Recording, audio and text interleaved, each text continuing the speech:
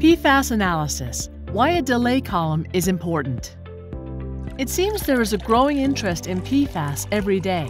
PFAS is an acronym for per and polyfluorinated alkyl substances, and they are most often analyzed by LCMS-MS. But this analysis has some challenges. Let's start with a little bit of information on PFAS. These fluorinated compounds started to see use in the 1940s and have since been used in a wide array of products and processes, including aqueous film forming foam, often abbreviated as AFFF, which is used in firefighting, non-stick products such as kitchenware and fast food packaging, outdoor clothing, stain resistant carpet spray, and many more.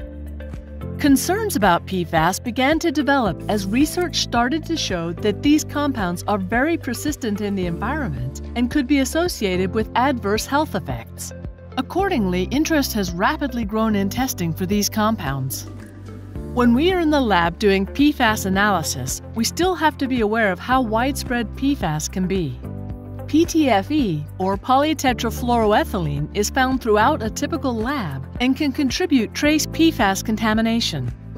Most LC-MS-MS instruments have PTFE components, and they can slowly leach out, interfering with our PFAS analysis.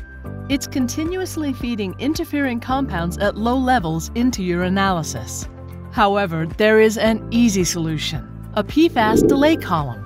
Just as the name implies, it delays PFAS, specifically the residual PFAS contamination introduced before the injector in your LCMS-MS.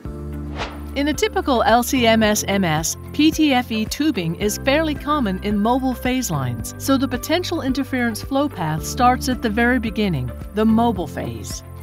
From the mobile phase bottle, it flows into the degasser with multiple PTFE containing lines, and then to the LC pump, where you can also find PTFE parts. Next is our mobile phase mixer. And now here, between the mixer and the sample injector, is where we will install the PFAS delay column.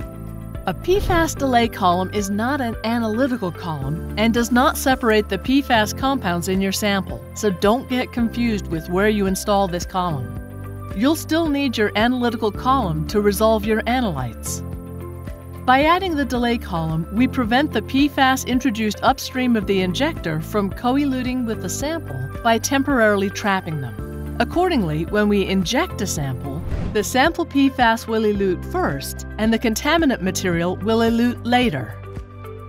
Because of the prevalence of PFAS, we have to take some measures to manage PFAS contamination to ensure the integrity of our data. A PFAS delay column correctly installed between the mobile phase mixer and the sample injector delays the system-related interference for accurate measurement of PFAS in your sample. To learn more about PFAS analytical solutions, visit restek.com/pfas.